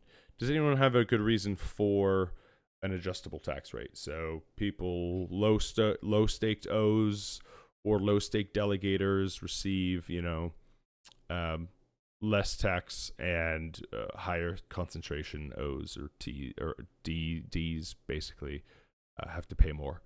Uh, do we have any argument for that? I mean, I, I think that you know, and again, I'm not saying that this is my feeling on it, but uh, just uh, uh, if you want looking for an argument for it, um, I think that it could potentially help um, balance out stake and have um, you know stake move from higher um, stake nodes if we're trying to balance out the network. Um, uh, whether that's the goal or not, uh, a separate issue. But um, um, it, you know, they'll they would in theory be able to offer better return or you know more inflationary rewards to their delegators, which would, in theory, um, you know, uh, I think have stake move. Um, as far you know, I, I think also, I mean, me personally, if it's a five percent, I don't think it's as big of a deal as if you're talking twelve and a half percent. But um, so th- there there's that um, issue too. Um, you know, um, you're taking you know twelve and a half percent of someone's potential income. That's a bigger amount than five percent, so or, you know more than double. So um, for me personally, I, I, I I'm I, would I, am a lot more leaning towards a, a flat amount if it's a, a smaller amount of um, I forgot the exact term again the uh, the tax rate um, or what do you call it? The uh, I want to use the right term but but if, whatever the percentage is that uh, goes out um, for the smaller amount I don't think it's as big of a deal but um, but the, the one advantage being still that uh, if it were to be a um, progressive tax, for lack of a better term, it would be it, it could potentially help um, uh, move some or balance out the stake between uh, orchestrators. Yeah, I I think the, the I don't know if it would actually work, but it's a potential. I, I don't know how you could get around like just not it not messing things up because if it if you do let's say you do just delegators for instance so so it's not based on orchestrators it's just if you have an x amount of lpt in a single wallet you get taxed more okay well you just spread out all your lpt into different wallets and you've avoided that scenario. In fact if it goes right down to zero you can just create 1000 wallets and have one LPT per and you've eliminated well, I, I- think it would be on the the orchestrator gets tax or not taxed, uh, that has a, a higher treasury reward cut rate than a lower um, orchestrator, so that it would be done at the orchestrator level. So if you Yeah. wanted to break it up and uh, you, you wouldn't need to break it up into all those things. You would just have to move, you know, chunks of it to smaller ones if you wanted to get the full, um, you know, zero percent tax basically. Yeah, but then uh, right, but then all you do is say, "Hey, I'm a large bag holder." I mean, would it cause an orchestrator to just split up into multiple orchestrators and now you like I, I you know between Again, unless it's a self-delegating orchestrator, I don't think it's that that easy. It's not as easy as it sounds um, because you're. It's hard to get your delegates to move along with you. Um, at least that's Well, I mean, say it goes a bit more advanced and I mean it's all on chain, right? Or I I mean I don't know. There's got to be a way to track and see if someone is spinning up another O just to do this. I mean there, there has to be a way to like look at that on chain or look at the IPs of the the orc and see if they're Well, even if you are doing that, there's nothing. There, it, I mean, that's that's fair game. I mean, it's a it's a permissionless um, network. I Yeah, mean, you're, you're true. free to spin up as many as you want. I mean the the problem with that is people will be able to split their own stake, but if they have a giant delegator, uh, most people can't reach reach them. So it might work for like a bit of stake, uh, but someone has a million LPT on their node from someone else, they can't exactly say, "Hey, you know, move 500k here real quick." I also am curious about the implications of the health of the network by moving stake based on tax. Like, let's say that we have uh, Vires, who uh, big shout out to Vires, by the way. Uh, Vires has got uh, you know two million LPT. He's a very high performing orchestrator, very healthy for the network, you'd say. And then you have somebody who's got uh, one 1,000 LPT who doesn't tra- transcodes, but maybe they transcode on a, a used potato, and uh, it doesn't actually, you know, it, it's just terrible. It's it's not a good service. Do we really want to incentivize stake to go to low performing, low staked O's who are not performing well, just because of tax? Are they not performing well because they're lazy, or are they not performing well because they don't make any money um, running an orchestrator on the network? Right. Because if you're going to tax them 12.5%, the same as you're taxing the guy with 2 million stake, not much incentive there to perform better, in my opinion. Right. Or or is the same argument the case just backwards? You could say, well, uh, when a when a large orchestrator that doesn't do any work, you know, but a small orchestrator does do work, you know, um, does that progressive tax? Yeah, I I, I don't know. I, I don't know what's going with this, but um, yeah, like is that no, I, I understand. I understand what your thought was. It, you know, like, uh, is there a reason that someone is a low stake thing? And is it because if it's performance based, do you want to encourage stake to move to a, a low performing orchestrator? But then what Ben's saying is, what do you consider, I guess, a low performing orchestrator? Is it just that they don't get a lot of work, but they're able, if they're if they're able to to do more, but they're just not getting a lot because it's a stake weighted, um, you know, we're so heavily stake weighted in in how work is distributed um, there's you know a lot of different variables in play there. So um, you know uh, with the with the blacklist that's been um, uh, proposed also, um, and I see that they're they've written at least a uh, I've seen it. There's a, a version of it that's um, uh, it's been imp- not implemented, but it's been uh, incorporated into a, a, a not a, not a release branch, but into a branch of uh, live Livepeer.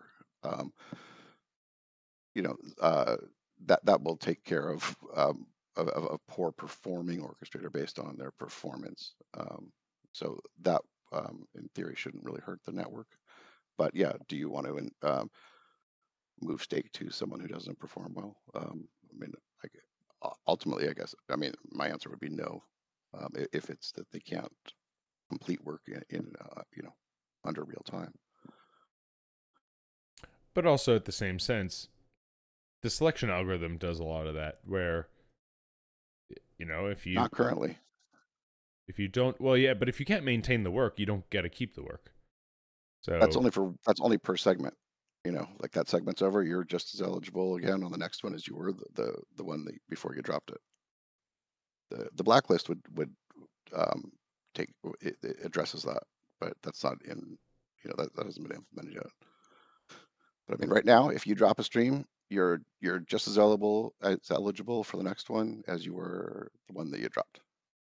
You're not eligible for that same stream again if for some reason it comes back to you. Which actually is not 100% true. Um, I did see that there was a bad there there was a bad stream. You know, I, you know, I mean, I like to look at all the, the logs. There was a bad stream that went through LAX where um, it actually um, got swapped out 109 times between all the orchestrators. Um, I think it was I don't know if it was over the weekend or on Friday, but um, and that was one quarter of all swap streams in LA. But uh, I saw that it, actually hit my node. I, I, swapped out on it seven times, so um, you know that was a just a bad stream that went through there, and it was the same stream, and I was able to re- to get it again. But I think that's just because everyone was knocked out of being eligible for the stream, so it was like, okay, we need we need someone to try it again. Um, another issue probably that should be addressed in the Livepeer code, but that's getting a little off topic. Um, Are they sending but it- like 4K streams or something? Like, why was this getting bounced around so much? I don't know what the error was, but um, I mean, the, if I mean, i- i- if I couldn't transcode it seven times, I'm telling you something's wrong with it. Um, I have more than enough capacity here for that. I wasn't super busy. Um, I I also noticed that that that stream was moving around to a lot of orchestrators. I didn't calculate on every single one how many times it had moved, but I did see there were other ones where it went through like multiple times also. So I'm just going to say something was wrong with that stream. I don't know what it was. Um, I mean, I have the manifest ID. If you know, if someone wants to take a, l- uh, I guess I could send that to someone at Livepeer if they want to look and see if they can see what it was. But um, I, I I just noticed that that stream was responsible. That stream alone was responsible for one quarter of all the swaps in uh, LA over a 24 hour period. You know what they say? If Papa Bear can't do it, no one can. Well, I mean, you know, I I, I, know my hardware works pretty well, so I, uh, uh, I'm not saying that there couldn't be a networkation issue, and I'm gonna you know drop a stream here and there occasionally, but uh, seven times on the same one, I'm good. And uh, yeah, I'm, I'm gonna say there was a problem with that one. And again, that, that's just on my node. There were other nodes that were getting swapped out on as well. So um, Cool. Well, uh, that aside, um, okay, back to the progressive Yeah, tax so- rate. yeah, thing. sorry. So, yeah, okay. is this? I guess does the progressive tax rate have anything to do with performance, or is it gonna like like what is the Sybil attack for a per, per, like on orchestrators if this happened? Like would it would an or, would a self delegating orchestrator really take out ten orchestrators in order to lower their tax? You know, the Coinbase, the the whale, the the self interested whale. Is it gonna be a bad attack, or are they gonna just take that and spread it amongst delegators, uh, amongst orchestrators that are naturally lower, and so, right? Is there a difference? Like, like, if someone wants to take out ten orchestrators and they have a million LPT, like they can just do that today, right? Does the does the tax does Yeah, the progressive tax rate the- do the- that, or is it like What's the incentive though to do it now? I guess is the difference versus. well, there would definitely be no incentive to take. Well, unless you were just like trying to get more work for yourself or something, but it doesn't really. I think the only self like delegating high self delegating orchestrators aren't doing transcoding. So it, I guess it's um uh, maybe I'm I'm skewed because I I, I I'm I'm aware of that, but uh they're not going to get more work for them. I mean they're they're not doing work now, so they're they shouldn't be. I don't think they're concerned with the work. Some of them are, have transcoding turned on, and I don't even know if they're aware of it. Um, probably back from the day when CPU transcoding was still something that you could do and, and get a stream or two. But my guess is they probably haven't touched their setups since you know in a few years, and they're just really in it for the um, the rewards, not for the fees. I mean, there was one, I, I can't think of, I, I don't know their name. They were just uh, a, um, an, uh, sorry, an ETH address, but um, it came up in chat the other day where um, I I showed him that he was being swapped out and that uh, and his machine was crashing. So we said, why don't you try turning off transcoding, see what happens? And I, I didn't hear anything back that his machine wasn't working, and he's no longer. I don't see him getting. I don't see him getting any um, selections either in the in Brad's selection um, test. So I, I assume he just turned the transcoding off. Um, so again, I, I just think he just wasn't even really aware of what was going on. He was like, "Yeah, no, I got transcoding going on. You know, I got a CPU. I got plenty of CPU power." And we were like, "Yeah, but you you haven't been able to successfully transcode any of the streams you've received." He was like, "What?" you know. Um, so I, I'm going to guess that's probably the case with um, any other large one that just you know basically fails every stream, but does occasionally win a ticket because you can win a ticket uh, just based on that that first stream coming in because the ticket's sent with that stream. The first ticket is at least. Right. I don't know if I, I don't know if I rambled on there. No one knows what I'm talking about, but uh, Yeah, of course, of course. Uh, I, I want to quickly keep going back to this progressive thing. Um, it also sounds it would be more difficult to implement. It would be a protocol, like a serious, maybe undertaking on like a adding more feature thing.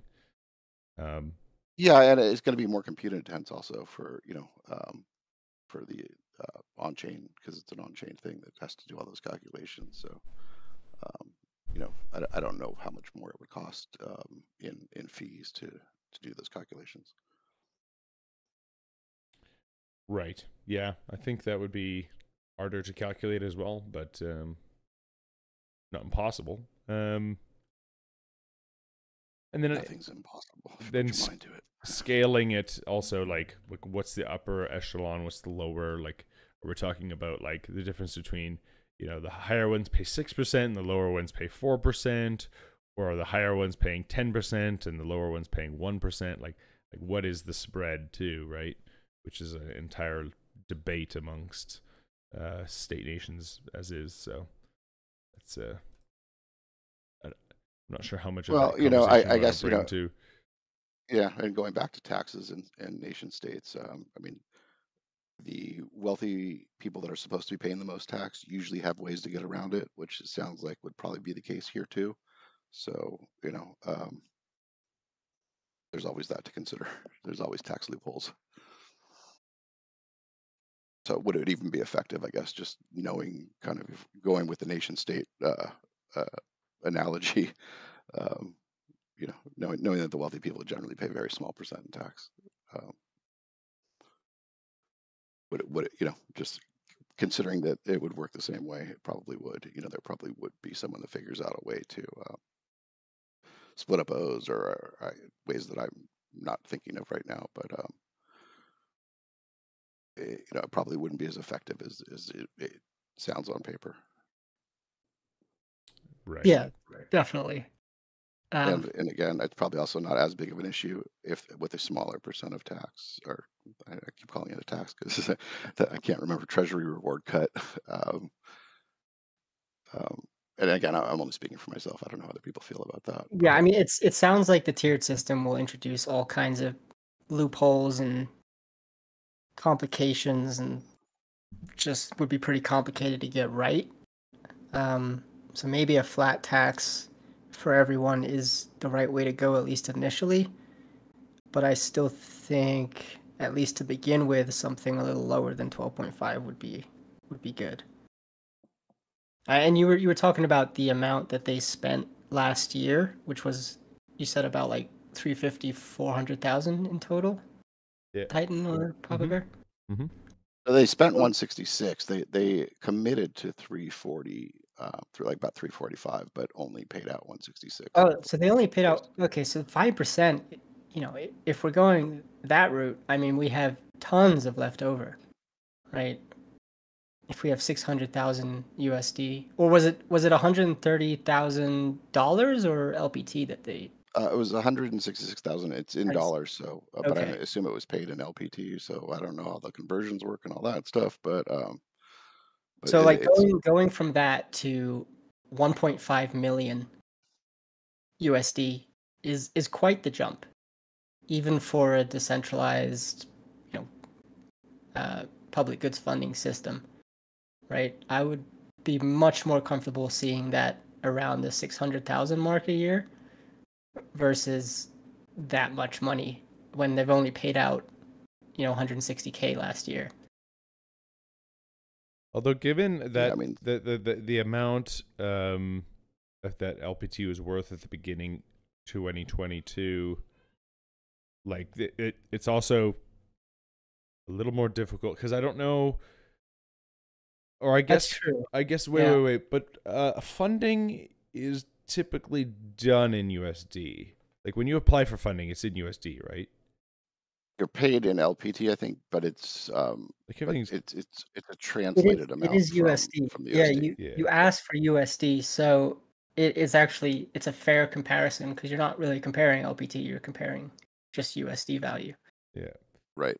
So this this would actually be, you know, if, if you're comparing it to the price of LPT back into you know 2022, the beginning of the year, in the middle of the year, um, this is actually a lot more than six hundred thousand dollars that's being put in uh, in the public goods funding treasury. yeah potentially yeah. If it- if it- you know if you're looking at it that way. yeah yeah Yeah, I think I think you have to look at it as dollars, but I mean that's you know it's three point you know three and a half times as much um, you know USD um, per year. So and I, I know the goal is to get more money in to you know to uh, to incentivize new projects to be built.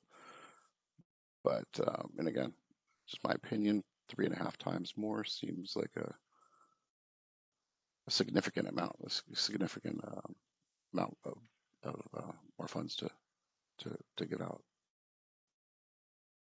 Yeah, and the idea is there's more places for it to go if you have a public goods funding system and you're focused on demand. But I mean, to start, six hundred thousand seems plenty for the first year. There we go. I would highly recommend somebody reply to that post and or maybe come up with some examples of why five percent is the way to go. And uh, yeah, I would love to see the Delta proposal really uh, get get get some momentum because um, once it goes through, then I think it'll inspire a lot of you know further actions to be taken with like tier two DAOs and like different you know engagements also within the community. I also think it would be good publicity to have a the Delta proposal go through. People can start seeing that hey, there's there's a treasury now, and and that treasury funds can be distributed to builders, which I think is good. Okay. Um. Yeah. I mean, we've been talking about this for a while. Do we have any last comments about LIP ninety two or or treasury parameters or anything like that?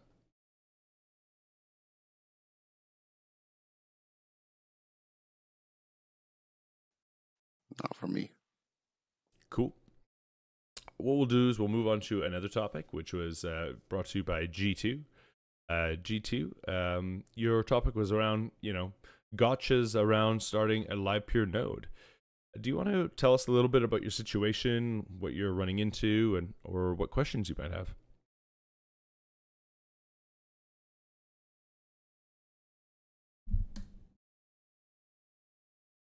G2, are you with us? Sorry to put you on the spot. It's been like uh, an hour and 40 minutes since we got to your topic, so I'm sorry about this. But um, yeah, if you're with us, go ahead. You scared him away with all the topics of public goods funding. Yeah, no. Oh doubt. no, it's all good. No, it's uh no no I um so for me right now it's like we're getting ready to spin up a a uh uh what call it a uh was it Orchestrator? node Orchestrator. so yeah orchestrator node so for me it's like you know what are some like you know initial setups or like things that like maybe like running a node for the first time you you know maybe it's a good thing to know ahead of time things like that uh, as we get into it like this week and stuff like that starting spinning it up Um, have you looked into the startup grant? Uh yeah yeah yep so that's kind of like how we ended up getting there so we just finished like our first milestone um today so uh, moving forward we'll be building into like the nodes Cool. Yeah. Uh, anyone got advice for G2? You were asking for gotchas. Um, hmm I guess we could probably touch on on some gotchas. Um, I think my question to you is what kind of bandwidth and like GPUs are you working with? And what, Hmm. what region would you be spinning up your orchestrator in? Hmm, that's a good question. I guess um I'd actually I guess based on what you think is probably a good range, then I guess I would uh you know based on that I'd purchase a computer or something for it to run on. I guess the other option would be um are there any like good cloud servers? If not, you know, that's a designated like computer or something. Okay, one thing I think is really good to just state immediately is before you spend any money on this, um, just understand that it, it's quite competitive and you might Mhm. not see a return on your investment um, until you can attract a bit more stake. I'm not sure what the rules are with the um, the startup grant at the moment. If that will Mhm. give you enough to like pay for a cloud server, I'm not sure if it will. Um, Okay. It's quite competitive and it's not easy to attract stake, and that's at the moment the main way that um, we we make money essentially. Mhm. Um, so just understand, like, you know, it, it costs a lot to get on board right now. Obviously, as you've seen, it's, I don't know if it's still above a thousand LPT just to get in. So you got a pretty big initial investment, and then Mhm.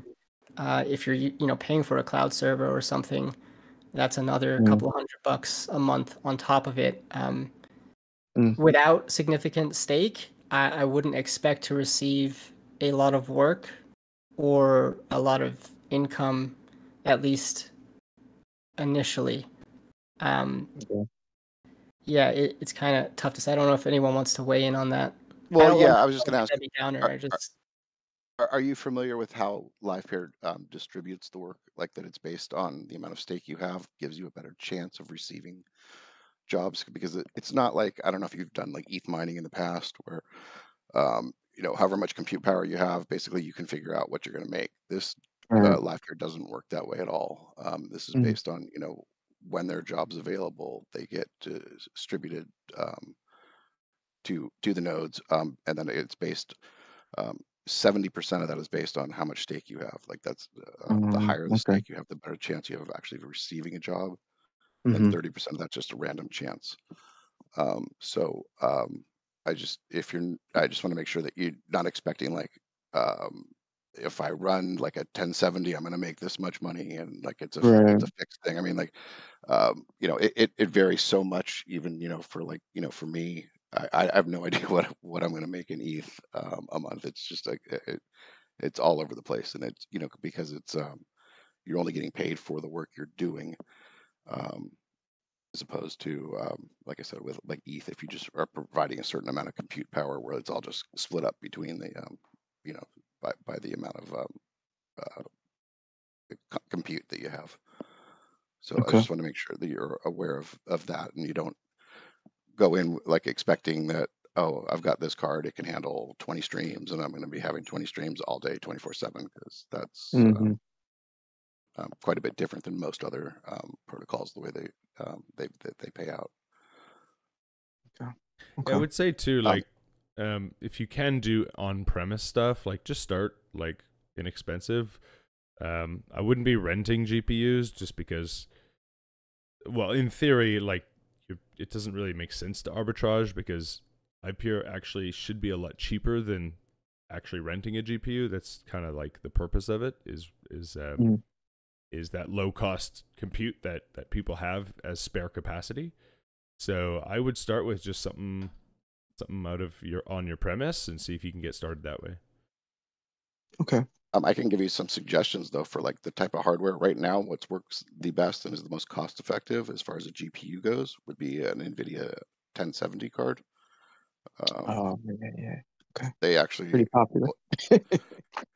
they, they they they actually perform. They have the fastest performance right now, and Okay. they support um, all the formats that um, that Livepeer currently supports. In the future, you'll you'll probably want something different, but as currently, um, there's no advantage to having a, a newer, better in a sense, a newer card um, Mhm. because you don't need those formats, and they actually right now actually transcode slower than the um, the 10 series cards, and especially the 1070 is like the the the the most cost effective card you can get for um, for running Livepeer. And as far as the rest of the hardware goes, honestly, it's not that important. The what is important is your bandwidth and your latency to um, uh, the current ingest servers um, that are run by Livepeer, because that's where the bulk of the work comes from. So, um, I mean, personally, I really strongly recommend um, running a, a, fiber if you have it.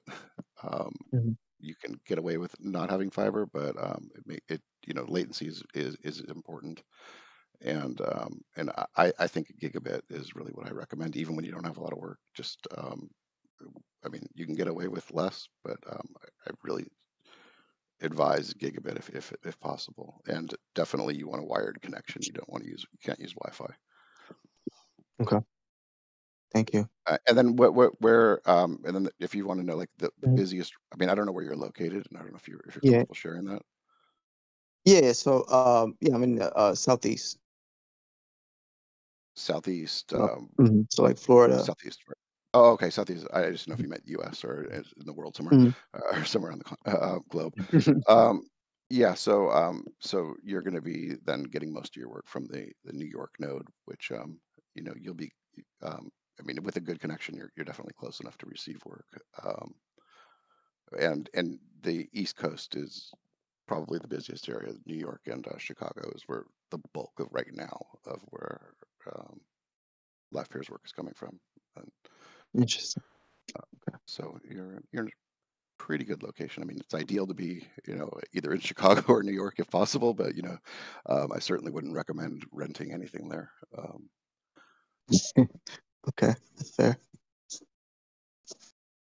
Um, I can't think of any like specific gotchas other than just making sure that you, your expectations are realistic and uh, and you understand just how it works. That um, it's a demand-based network, so um, uh, that's definitely helpful. You know, it, yeah, it's yeah, definitely different from like because I've done like like like Rocket Pool and like ETH and stuff and like in the past, but yeah, it's a little different. So I yeah, right. Like those like have calculators you can basically go and just you know say like, oh yeah, this is what the cards I have, and you know this mm-hmm. is what I'm going to be making a day. It, it it does not work like that at all. And then the the one other thing that's it's I don't want to scare you off here, but what gets really complicated is you don't even get paid exactly by how much work you do. There's something that's called a um, probabilistic payment.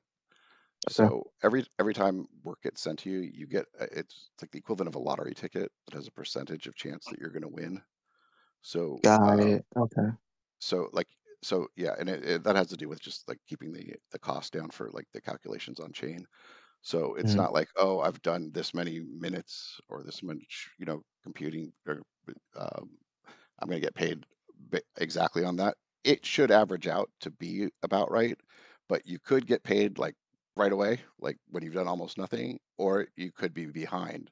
Over time, it should balance out, but uh, without getting too like into depth on how that works, um, it's um, you know just also it's that that's that that's certainly a gotcha. When I first started, it took me forever to get my first payment. I mean, it's I'd say it's balanced out certainly by now, but um, at first it was a really tough concept for me to really grasp. But I'm like, I've done enough transcoding to get paid out here. I see how many minutes most people are doing, and I'm not getting paid out. Why not? Um, so the, that's definitely it. Uh, there's a lot of unique things in Livepeer. So I mean, I guess there's potentially a lot of gotchas, but um, it's um, I don't and I don't mean gotcha necessarily in a a negative way, just just things that are just different. So that you know right. things that you probably wouldn't be expecting, and um, yeah, especially if you're not like hanging out in the forums and reading what's going on in there. The... yeah, I'll jump in and say one of the biggest value adds is just like connecting with some of the people here. Um, so I definitely definitely recommend doing that. Like there are some mm-hmm. really really talented and skillful people like running nodes, and if you have any questions, always feel free to to ask them and um, there's just a lot of good connections to be made here as well. So while you might not make a ton of money initially, um, mm-hmm. you'll be able to meet some like you know like we have Mike Zuper who has like 20 years of experience with system architecture. It's just these are good people to to be able to ask questions to. Um, so don't feel discouraged if you if you set everything up and your node doesn't get a job for like six hours because that that does happen to smaller orchestrators.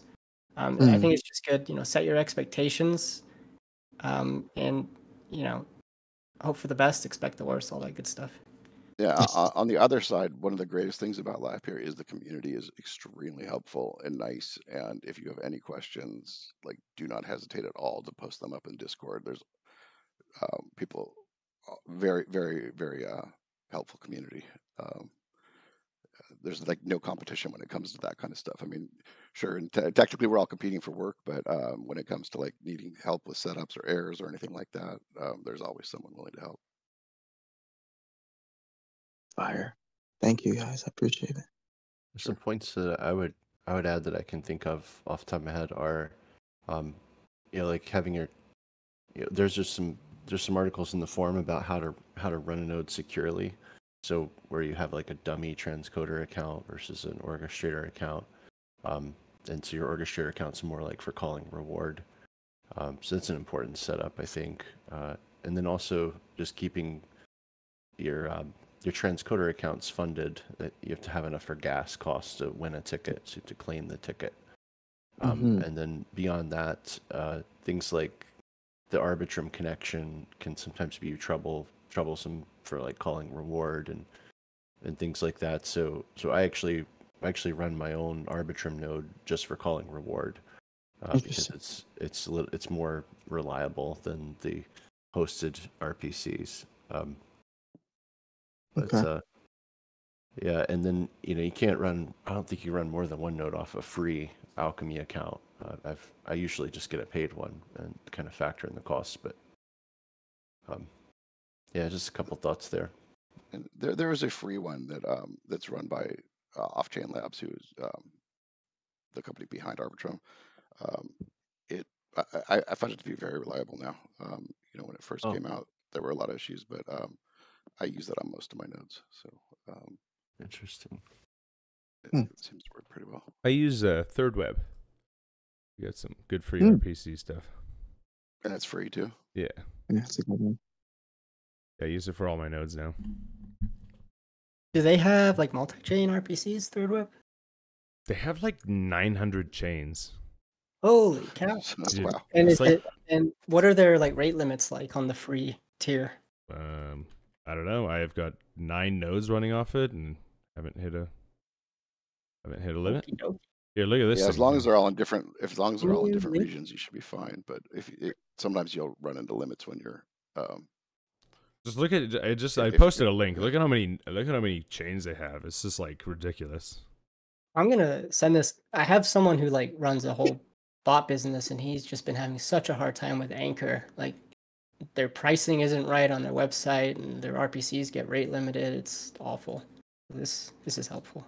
Yeah, I do. I'd recommend Third Chain or Third Web. They seem. Third Chain. Although uh, they said tomorrow, as of tomorrow, they need you need to have an API key to authenticate. So I don't know. Oh geez, what? Uh, you have to uh, just create yeah. an API key. I think it's free. It's just like I guess they were getting just spam. They have like an open. Um, they have they had an open endpoint, and I think it was just getting spammed. So they're like, you know what? At least connect your wallet and like create a key. But it's still free, I believe. Yeah. so So it yeah. sounds like. It, oh yeah, sorry. Go ahead. No, you're good. Yeah, we're we're actually so we're like building with so our Livepeer application um uses a lot of third web's SDKs. Um so yeah, so it's definitely I can I can attest that it, it is free for sure. Awesome. Yeah, Third Web is. I mean, Third Web's just good in general for all the stuff they offer. So this is cool. For sure. So you've been developing like a like a Livepeer streaming site too. Yeah, so yeah, we so, so yeah, so I mean we've actually I mean we've been building like the last three going on four years. But just kinda like you know, like a lot of stuff's kinda like maturing, so to speak. So um so yeah, third web was one of those things that kinda came into play as because you need like you need something that kind of helps to manage a lot of the smart contracts when you're developing. And that, that does help to have something that looks more manageable. so um so that's what they offer and it's it's helpful. Yeah, I'm a big fan of Third Web. Yeah, they have they have quite the reputation. Everyone who mentions Third Web is like, yeah, those guys are they're doing good. Like, holy shit. How long have they been around? Man, um, I, I don't know how long they've been around, like where the public we've publicly been using it, so to speak. You know what I'm saying? Like, because they've they made a lot of iterations over time. I want to say probably just as much as we've been building. Only about the last three or four years, they've been. They just have a bigger team. They got money behind them and stuff like that. And from the UK, I think a lot of big investors. Definitely feels polished. That's awesome. hmm Definitely. Cool. Okay, well, what I'm going to do is uh, we'll end it there. We've gone through all our topics and we've covered lots of conversation today. Um, yeah, so uh, any last comments before we sign off? Cool, cool. Uh, thank you all for coming, uh, being a part of the movement for uh, decentralizing the web and uh, uh, helping in the mission of uh, Livepeer becoming the world video infrastructure. Uh, great to see you, and we will all see you next week. Cheers. See you. Thanks. See you guys. Thanks, guys.